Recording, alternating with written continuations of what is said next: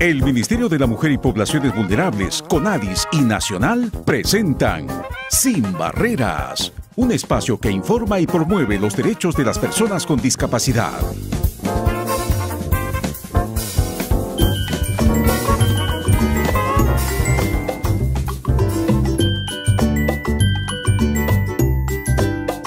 ¿Qué tal amigas y amigos de todo el Perú?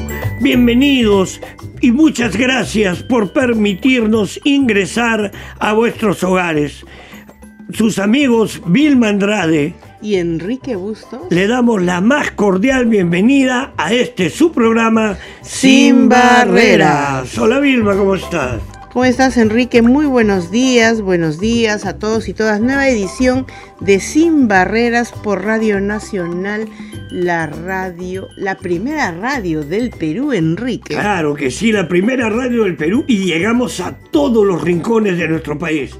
Y nos escucha muchísima gente, Vilma, porque me lo ha demostrado cuando hemos tenido a la jueza suprema Maruja Hermosa, muchas llamadas, porque ahí difundimos, como siempre en este programa, difundiendo derechos de las personas con discapacidad, con ella difundimos justamente el decreto legislativo 384 que le devuelve a la persona con discapacidad su plena capacidad jurídica. Ya no más interdictos, Así ya no es. más testigos a ruego, las personas con discapacidad estamos en igualdad de condiciones a contratar tanto con el Estado como con cualquier empresa pública o privada de servicio público sin que nos pidan un curador, sin que nos pidan un testigo. Testigo a ruego, ¿no? Ya no, ya, Ya ya no no. Eso quedó obsoleto. Pero también existe un procedimiento, Enrique, para esto, ¿no? Ah, sí, porque eh, eh, lo Para que es sin interdicción la ha sido cambiado por apoyos y salvaguardas. Entonces, esos apoyos y salvaguardias también los, de- los define el juez. O sea, los decide el, juez o el notario, porque se puede hacer por notario o por proceso judicial. Pero siempre respetando la voluntad de la persona con discapacidad. Así es, Enrique. Y bueno, y hoy en este programa tocaremos un tema muy importante. Vamos a conocer cuáles son los alcances del decreto legislativo 1562 que autoriza pues financiamiento de emprendimientos para personas en situación de vulnerabilidad asociadas a la discapacidad y organizaciones sociales de personas con discapacidad. Es tan importante, amigas y amigos, que justamente se comprometa presupuesto, dinero para un plan, para una política, porque sin eso no avanzamos. Así y justamente aquí hay un capital hablar, semilla. Así, de eso vamos a hablar más adelante. Y ya saben, amigos, no se pierdan, ¿eh? Interesantísimo el programa. Así es. Te comento, Enrique, que el CONADIS, la Municipalidad de Santiago de Surco y el Ministerio de Trabajo en conjunto realizamos una feria laboral Incluyeme Soy Capaz, dirigido a las personas con discapacidad, donde participaron más de 40 empresas privadas y se ofertaron también más de 500 vacantes disponibles para personas con discapacidad.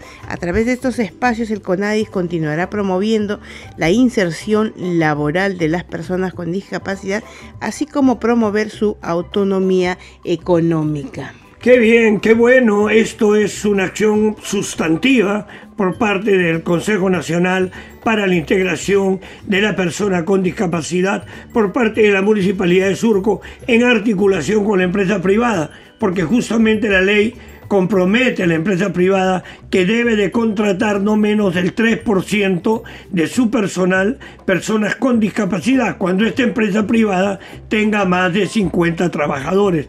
Pero si no le das el derecho al trabajo, ¿cómo cumplimos con el primer objetivo de desarrollo sostenible de la Agenda 2030? Que es justamente arrancarnos de la pobreza, avanzar en recuperar gente de pobreza extrema. Y sin trabajo no creo que pueda salir de pobre.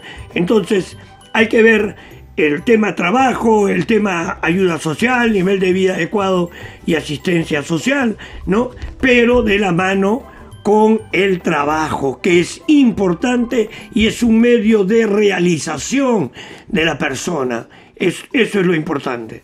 Así es, Enrique, y además vamos a seguir con nuestra promoción y difusión del pase libre, porque seguimos recibiendo las quejas de los beneficiarios de este pase libre en diversas unidades de transporte público. Sí, Vilma, realmente trae a colación un tema muy álgido y muy difícil porque es una discriminación flagrante. Uno está con el bastón y a mí que me...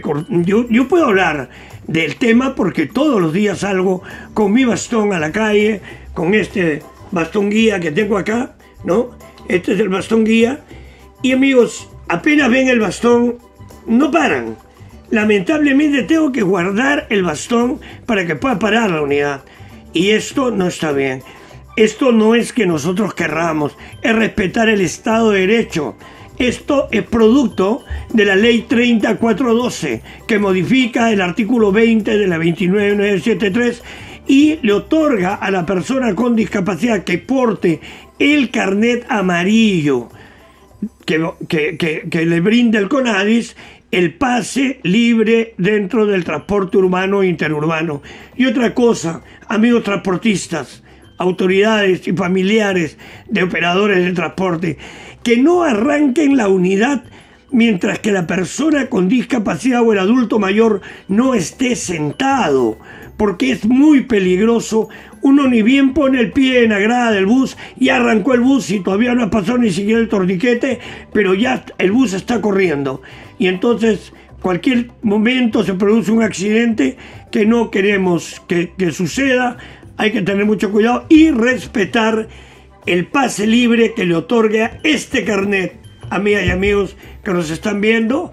Este es el carnet amarillo que le otorga el CONADIS y que le permite el pase libre en las unidades de transporte urbano e interurbano. Así es, recordándoles que cuando se señala urbano e interurbano quiere decir que solo a nivel local, no es válido para una provincia a otro. Si con este carnet amarillo me quiero ir a Cañete o a Guaral, no se aplica, es solo a nivel local. Claro que sí, a nivel local. Lima, desde Villa El Salvador a San Juan del Urigancho o Lima Callao, eh, ahí funciona el carnet amarillo, pero si quiero viajar a Barranca, quiero ir a Cañete, no funciona el carnet amarillo.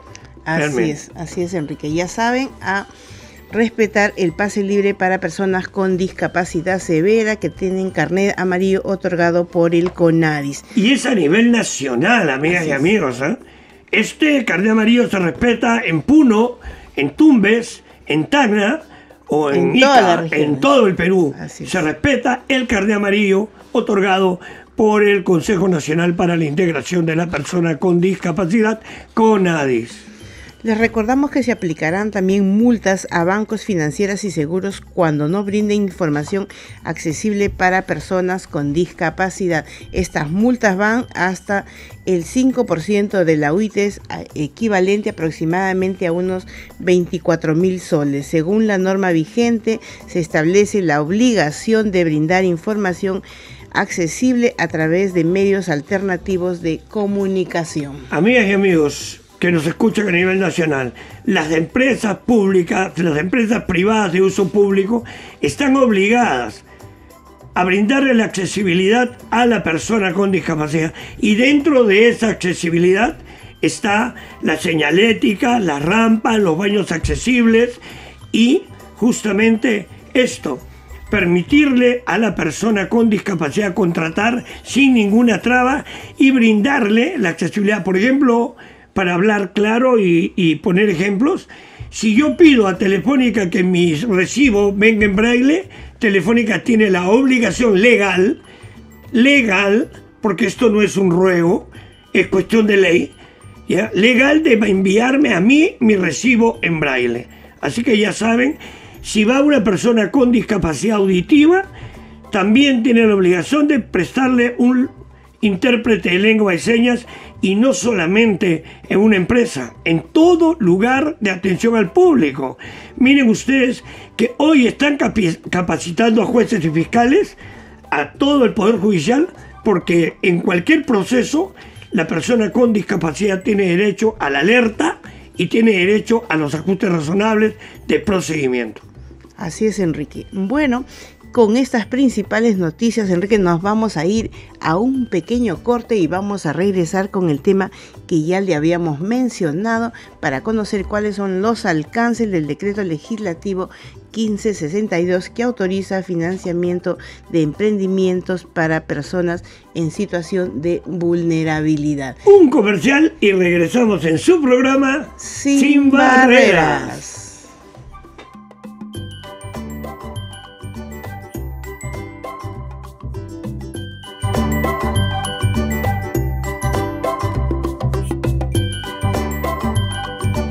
Cuatro cosas que debes saber sobre los pisos podotáctiles. 1. Son superficies en alto relieve pegadas al suelo, que sirven para guiar a la persona con discapacidad visual durante su recorrido. 2. Su textura ayuda a que puedan ser percibidas por los pies, bastón guía u otro elemento de apoyo. 3. Existen dos tipos. Los que tienen forma de listones se denominan direccionales e indican el recorrido que la persona con discapacidad visual debe seguir. Y los que tienen forma circular significan alerta, que anticipa zonas de peligro, obstáculos, cambio de dirección o fin del recorrido. 4. El color puede ser variado, sin embargo deben ser de alto contraste para facilitar su detección a las personas con baja visión. Por un país sin barreras. Tú también ponte en modo inclusión.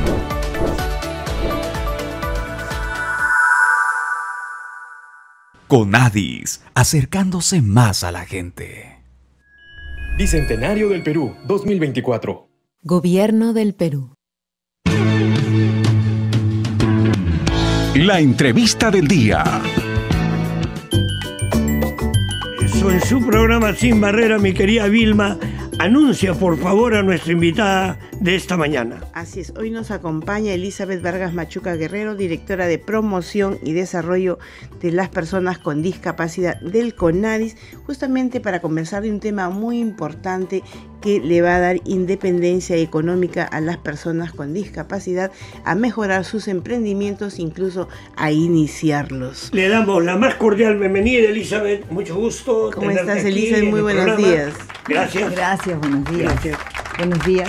Buenos días, Vilma. Buenos días, Enrique. Y buenos días a todos y a todas tus eh, escuchas ¿no? en el programa. Y los que nos siguen también, porque estamos saliendo al aire por YouTube.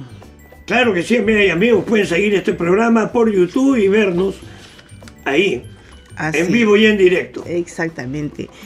Elisa, quisiera que nos comentes, ya hemos venido nosotros igual dando la información en los diversos programas que tenemos, en qué consiste este decreto legislativo 1562 que está relacionado con el tema de financiar diversos emprendimientos para personas en situación de vulnerabilidad, valga decir personas con discapacidad y sus organizaciones. Sí. Bueno, este, en principio es una iniciativa nueva, es muy nueva, es más, este es el primer año que esperemos salga todo muy bien para que continúe en los siguientes años, se pueda replicar esta iniciativa lo que vamos a hacer para hablarlo así muy en sencillo, ¿no? A tus oyentes y a tus también este, seguidores en YouTube. Eh, se, se, ha determinado en alianza entre Conadis y Foncodes, ¿no? con ayuda de Conadis y Foncodes, eh, tener un conjunto de acciones que apoyen el emprendimiento de personas con discapacidad y también de sus organizaciones, y es que son las organizaciones de las personas con discapacidad quienes quieren participar. ¿Qué vamos a hacer? Vamos a eh, establecer todo un proceso, ¿no? Va a durar cinco meses, ¿no? De apoyo, tanto de fortalecimiento del emprendimiento, pero lo más, más importante es que vamos a contar con un eh, apoyo económico, ¿no? Para estos emprendimientos, ¿bien? Entonces, va a ser eh, una especie de capital semilla, como bien dijo Enrique, que puede ayudar, por ejemplo, con cosas de repente pequeñas, que puedan mejorar ¿no? tu emprendimiento de panadería, eh, tu emprendimiento de masajes, tu emprendimiento, no sé, o sea, es muy amplia la gama de emprendimientos que puede participar, no hay restricciones, ¿no? Em, y dime, ¿se ha establecido ya más o menos cuánto es el presupuesto para este para este programa? Claro, en principio ahora como es una iniciativa nueva, solo va a ser posible que participen personas y organizaciones de Lima y Callao. ¿ya? Como, como un piloto. Como un piloto, Claro. ¿no? Que pensemos que sea un piloto exitoso, para que luego así podamos... Va a ser, así va a ser, Así va a ser. doctora, no lo dude. Bueno, es que va a depender mucho del ánimo y de la participación de las personas. Entonces, nosotros este año vamos a, a contribuir al desarrollo de 320 emprendimientos. ¿ya? O sea, son 320 emprendimientos los que van a recibir este capital semilla. Pero tenemos acciones de capacitación donde se va a llegar a un, número mayor de emprendimientos, porque lo que nos interesa es que se mejore el plan de negocios de, los, de las digamos, de los emprendimientos, de los negocios de las personas con discapacidad y también de las organizaciones que pudieran participar. Claro, eso es muy importante que eh, podamos fortalecer justamente eh, esa parte del plan de negocios, cómo vender, cómo presentar tu producto, cómo atender al cliente, qué más hacer, ¿no? Sobre todo ahora que tenemos las redes sociales, que es un aliado, pero muy, muy especial. Claro, el diagnóstico, digamos, que nos, eh, que nos animó a, a- a promover esta iniciativa, nos da cuenta de que hay muchas ideas de negocios, ¿no? Y que hay negocios pequeñitos, que muchas veces eh, son el sustento de varias familias, ¿no? Eh, y lo que queremos es que ese, esa idea pequeña se convierta en una iniciativa no solo exitosa, sino sostenible. Entonces vamos a ayudarles, por eso no solo es que reciban un capital, dicho sea de paso que va a ser entre 5 mil a 7 mil soles, eso depende mucho de la idea. Bastante jugoso, ¿no? bastante bueno. Bueno, depende mucho de la idea Claro. ¿no? Claro. que se presente. Entonces, o lo que se quiere implementar. y lo que se quiere implementar, ¿no? Lo que se quiere mejorar. Entonces, pueden participar cualquier persona natural, ¿no? Que tenga un emprendimiento. Obviamente va a haber una diferencia entre el emprendimiento que ya está formalizado, que por ejemplo ya tiene un RUC, ¿no? Que tiene, digamos que ya funciona este, un tiempo, porque ojo, o sea, mínimo el- el- la idea tiene que tener un funcionamiento de seis meses. Obviamente es una declaración jurada, pero se va a tratar de poner todos los filtros necesarios para llegar a las personas que realmente eh, lo necesiten. Mira, eh, quería traer un tema a colación. Hay mucha gente que ha tenido un emprendimiento, de acuerdo que ha tenido una microempresa, pero la, todo el- lo que nos ha tocado vivir con el tema del COVID, de todo este proceso, estos años que han sido oscuros, ¿no?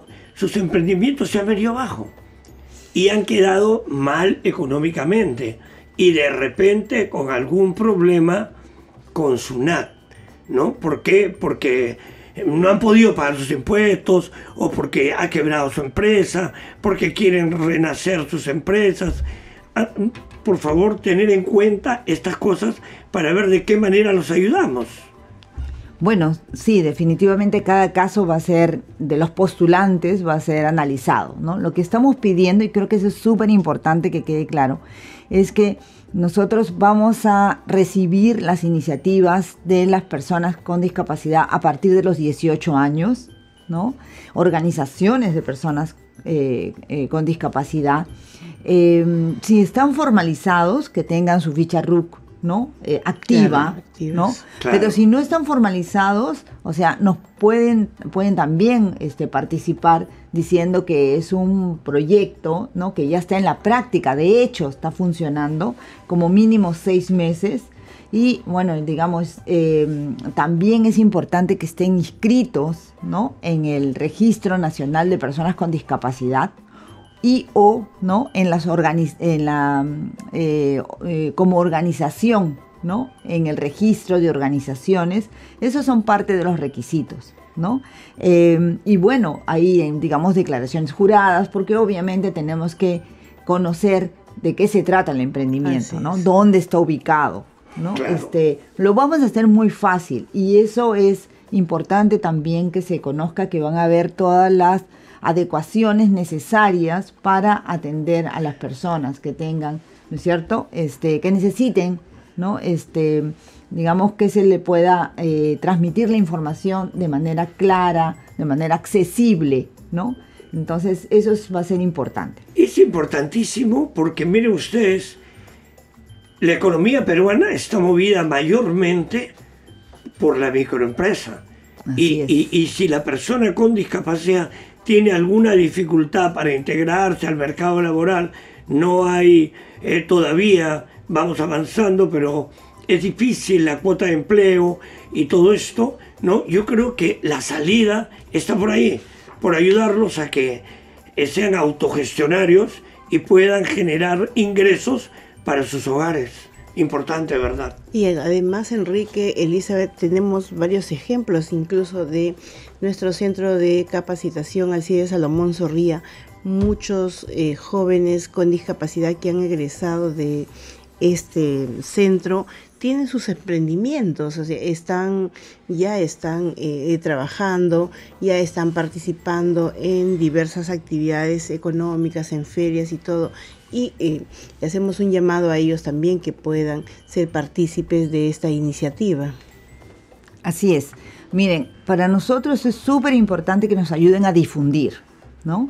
Eh, hemos estado, obviamente estamos en una etapa de preparación, porque sí, al inicio me preguntaste desde el decreto legislativo y obviamente, obviamente siendo una iniciativa nueva, hemos estado en una etapa de preparación. Todavía estamos culminando esta etapa de preparación, porque lo que queremos es eh, tener una buena experiencia y que también las personas, los em, emprendedores que nos acompañen en este piloto, como ustedes decían, este, puedan sentirse eh, no solo acogido, sino que sea, digamos, de utilidad, ¿no? Todo este proceso que vamos a seguir. Entonces, hemos estado preparando lineamientos donde se han establecido, por ejemplo, cosas como los requisitos, ¿no? Los canales donde se van a, cómo se va a difundir, las alianzas que vamos a, a generar, que estamos generando en este momento y, por supuesto, la estrategia tanto de comunicación como de convocatoria.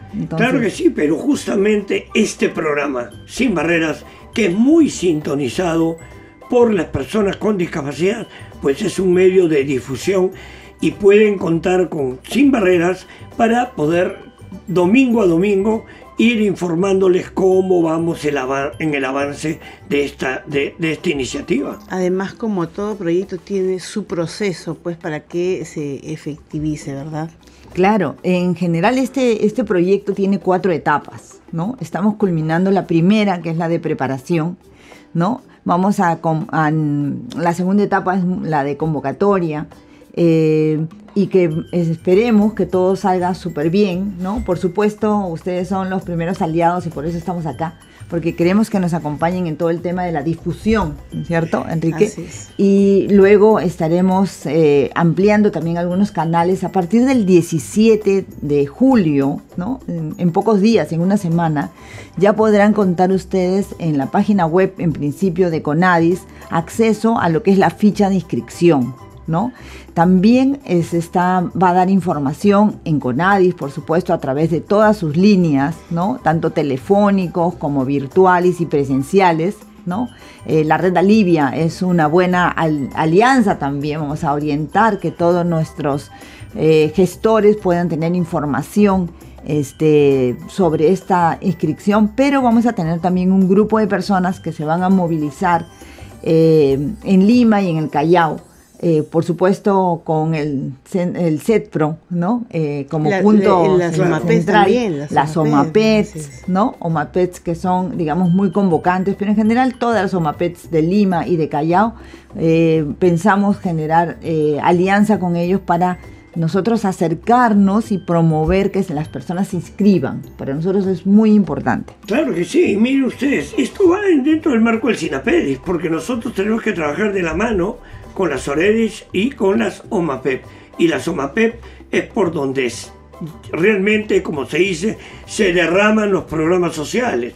Porque sale el Ministerio de Inclusión, por ejemplo, Pensión 65, pasa a la región, pero llega al, ciudadano, a la mano del ciudadano por medio de la municipalidad, por medio de la OMAPEP. ¿no? Y, nos va a ayudar muchísimo en este tema. Les vamos recordando que eh, uno de los requisitos es que el emprendimiento tenga pues seis meses como mínimo y entre los tipos de emprendimientos que encontramos están relacionados con alimentos, artesanía, belleza y estética, belleza y peluquería, manufacturas, publicidad, productos de limpieza, servicios, tecnología, textil, ferretería y otros tipos de que se estimen conveniente el núcleo ejecutor, porque recordemos que no solo Conadis viene trabajando en este proyecto. Sí, definitivamente así. Eh, ustedes saben que la idea es, digamos, como sumar eh, conocimiento, ¿no? Entonces queremos hacer algo muy rápido y exitoso y la experiencia del núcleo ejecutor que promueve Foncodes para nosotros es una oportunidad. Entonces, la alianza es con ADIS Foncodes, con el apoyo del Ministerio de la Mujer y del Ministerio de Desarrollo e Inclusión Social. Qué bueno. Así es. Qué bueno, qué bueno, porque esto va a redundar en mejorar la calidad de vida de muchísimas familias de personas con discapacidad.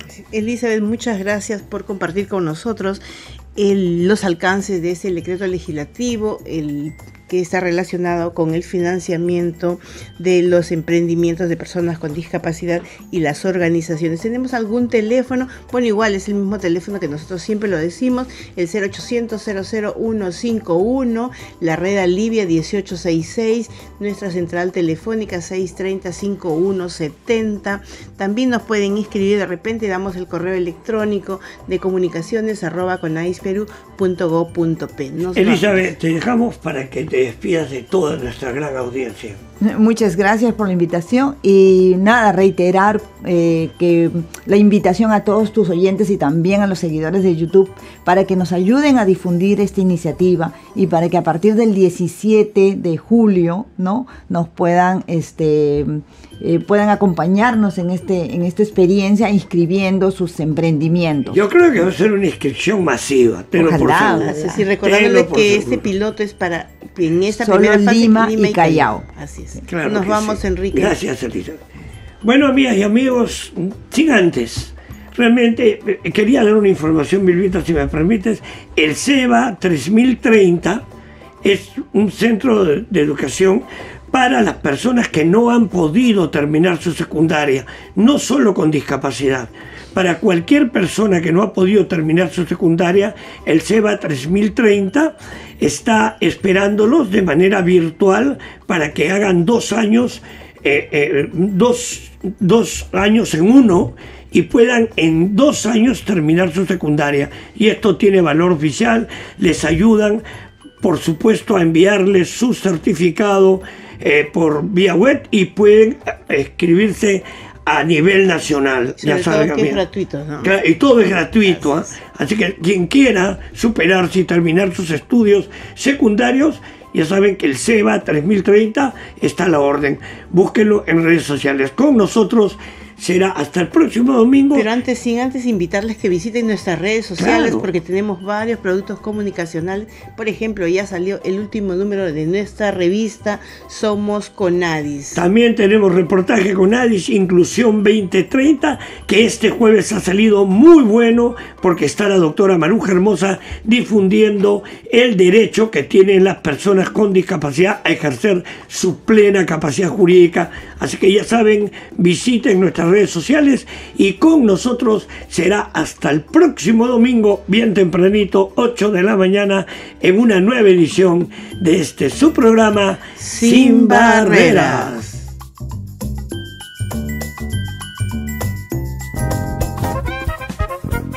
El Ministerio de la Mujer y Poblaciones Vulnerables, CONADIS y Nacional presentaron Sin Barreras un espacio que informa y promueve los derechos de las personas con discapacidad.